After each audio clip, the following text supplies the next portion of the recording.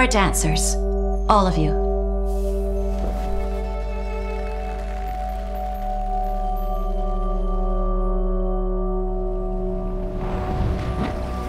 Like life, dance creates and destroys itself in every moment. Like love, it is beyond reason. Ephemeral as breath, concrete as bone, dance is made of you. See, that's how it's done. Right? Slide. yes. Piece of cake. As a creator, I have a relationship with the unknown. And the body becomes the place where I have that conversation.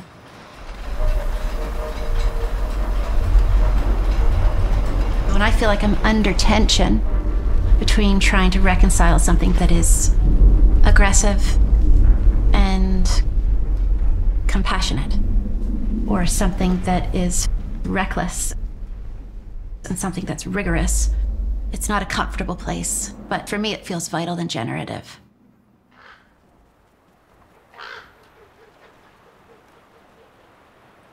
Movement can be a kind of visual music, a certain kind of punctuation in the body. Working with dancers, I describe states like the spikiness of your fingers is an outward expression of an internal suffering. Or your body is breaking into a series of small pieces and they're crumbling. Or that your chest is moving inwards because you are consumed by a particular emotion.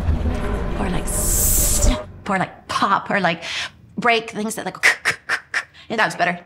I'll just the crossing one is more interesting. The choreographer, damn it. it's another language to describe what we're doing physically.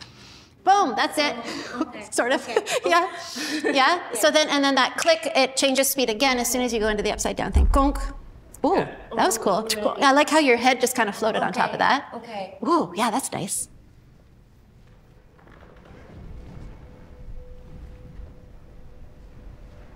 I love the idea that a dancer on a stage represents you. I mean, for me, the whole point about doing any of this work is to create the conditions for us to connect.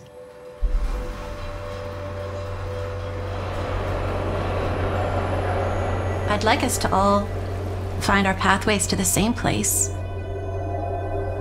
and meet there.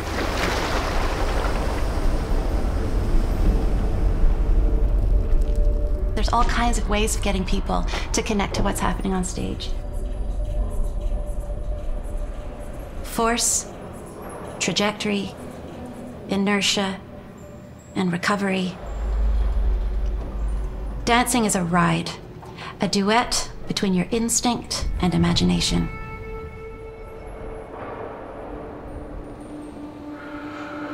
To be human is to be danced by life.